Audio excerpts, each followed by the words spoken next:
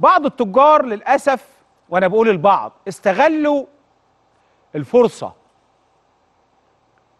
طلع قال لك الحق هيحصل زيادات الأيام الجاية فياخد البضاعة اللي عنده عنده 50 60 قطعة يروح مخبيهم. ولما يخبيهم دول موجودين عنده. مفيش مصانع النهارده آه، بتنتج بالكميات عشان تروح المعارض ولا تروح المحلات عشان الناس تشتري. مفيش. الحاجات الموجودة دي حاجات قديمة. فيخبيهم. فحد يكلمه. عندك يقول له آه بس بالسعر الجديد. ده هو موجود عنده. كام السعر الجديد؟ هتلاقي السعر الجديد كسب في القطعة من 4 ل 5000 واحيانا 6000 جنيه في الحاجة الواحدة وهي أصلا موجودة مركونة.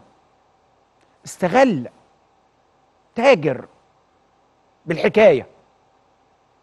ده أدى إنه بقى الكميات قليلة جدا معروضة بقى عليها طلب وبقى في حالة ركود. لأنه فوق قدرة الناس قدام حضراتكم أهو. آدي شارع عبد العزيز.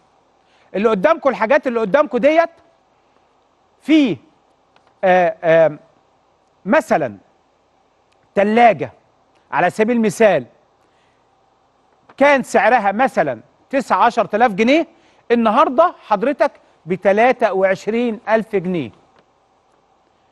آم آم ثلاجه أخرى بتزيد عن سعر المصنع 25 تاني. المصنع بيديها لك بسعر ولما تروح تشتريها زيادة 25 ألف جنيه عن سعر المصنع. بوتاجاز اللي كان مثلا ب 1800 1900 هتروح تشتريه النهارده بتدفع فيه 3700 جنيه. المكنسة اللي كانت ب 800 جنيه النهارده هتروح تشتريها ب 2900 جنيه وممكن 3000 جنيه. ثلاجه اللي كانت بسبعة ب ب ب 8000 أو 9000 جنيه السنة اللي فاتت زي دلوقتي بالظبط. في شهر يونيو 22 من سنة بالظبط. اللي كانت ب 7000 و 8000 وبالكتير 9000 النهارده وصلت 27000 جنيه. الغسالة اللي كانت ب 4000 و 5000 النهارده بتشتريها ب 8000 جنيه. زي ما بقول لكم الأسعار دي أسعار كبيرة وأسعار زي ما بقول لكم كتير قوي يعني.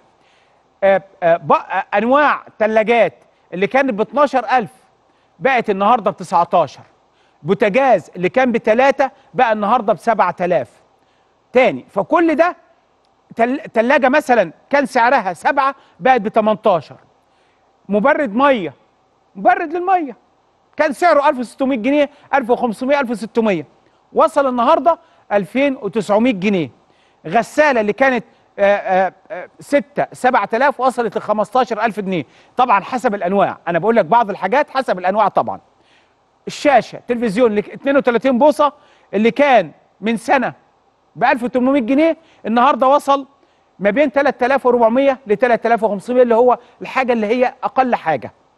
طبعا في حاجات وصلت 70000 تاني بقول لك 70000 و75000 جنيه. بس تبقوا عارفين الأرقام